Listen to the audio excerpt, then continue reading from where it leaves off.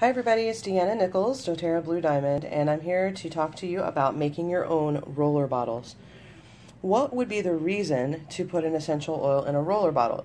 If, it, if you want it in a roller bottle, there are several blends that already come in a roller bottle. For example, we have jasmine in a roller bottle, but there's lots of oils that do not come in a roller. So what would be the purpose of making a roller? Well, for example, this oil, DDR Prime, it comes in two forms. It comes in a liquid form here, and it also comes in a soft gel. But for a small child, like a four-year-old and under, they may not be able to swallow a soft gel. And this is a very important oil that we use on our son every day because this oil supports um, healthy brain function and is very important for him because of some sensory needs that he has. And so um, what we like to do is we like to put it in a roller bottle and roll it up his spine. Um, placing oils up the spine is a really good way to get them in your system. And so you can see this roller is almost empty now, and this is one that we use on him every morning and night. And so now we need to make a new roller. And so this has a metal top on it, so it's a little harder to get off than the plastic ones, but you kind of put the cap here and pull to loosen it, and then it should come right off. Okay? So that's super simple. And so this oil, the reason why you're going to dilute it with fractionated coconut oil, which I'm sure you see is here that we're going to use, is because this one contains a lot of oils that are warm. When you're a doTERRA member, you get a book that comes with your kit, your starter kit, and each oil has some letters under it to show you whether or not it needs to be diluted. So there are oils in here that are warm like lemongrass and clove. Excuse me. And so we definitely wouldn't want to put that on anyone's skin, much less a child, without using coconut oil. So what I'm going to do is, this is a 10 milliliter bottle. So um, I'm going to fill this about halfway full, maybe about a third full of oil. Oh, I need to put that down so you can see me doing it. Oh, it's really hard to be the cameraman and the and the demo person. so I'm not really counting the drops, I'm just kind of eyeballing it. Um, since these oils like clove are sort of warm, I'm going to probably do it about one third essential oil and about two thirds coconut oil. So I'm just looking at that to see how full that is. I don't know if you can see that. I can probably do just a little bit more.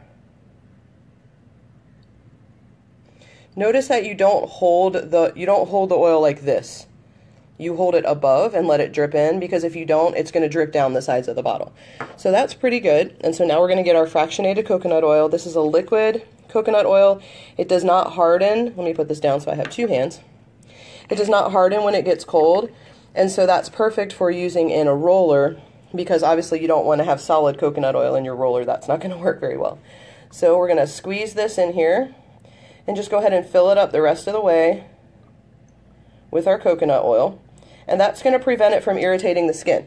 The other reason why you might add coconut oil, even if the oil can, be used neat. For example, if you were doing something with like lavender, melaleuca, and frankincense, maybe for some skin irritations, um, what would be the reason to use a carrier oil in that would be because whenever you're using essential oils and you really want the oils to treat something that's just on the outer layers of skin, then you want the coconut oil there to kind of hold the oils there. And so they're not just going deeper into the tissue. Another reason to use coconut oil so you don't overuse the essential oil we tend to use too much of an oil. And so um, that kind of helps you, especially if you're putting it over a wide area, it helps you not to overuse the oil.